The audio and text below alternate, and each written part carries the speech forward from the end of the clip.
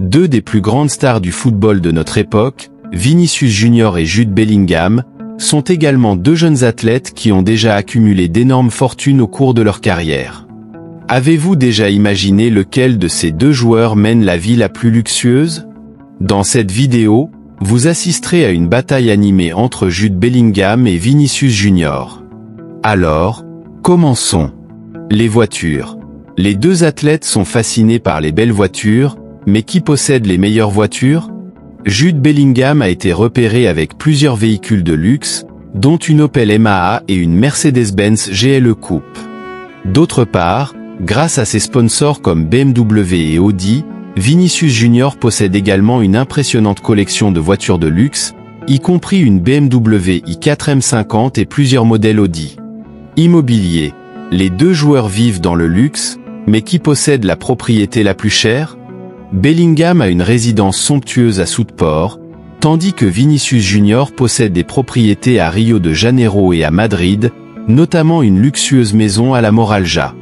Dépenses extravagantes, les deux joueurs ne lésinent pas sur les dépenses, mais qui dépense le plus? Bellingham est connu pour ses voyages de luxe et ses partenariats avec des marques de renom, tandis que Vinicius Junior dépense également beaucoup en montres de luxe, en vacances sur des yachts et en voyages en jet privé. Fortune, en termes de richesse, qui détient la plus grande fortune Les revenus et les contrats publicitaires des deux joueurs leur ont permis de construire des fortunes considérables, mais Vinicius Junior semble avoir une fortune légèrement supérieure à celle de Bellingham. En conclusion, bien que les deux joueurs mènent des vies luxueuses, Vinicius Junior semble avoir un avantage en termes de propriété, de dépenses et de fortune. Vie luxueux de Jude Bellingham et de Vinicius Junior, mettant en lumière leurs acquisitions somptueuses dans différentes catégories telles que les voitures, l'immobilier, les dépenses extravagantes et leur fortune globale.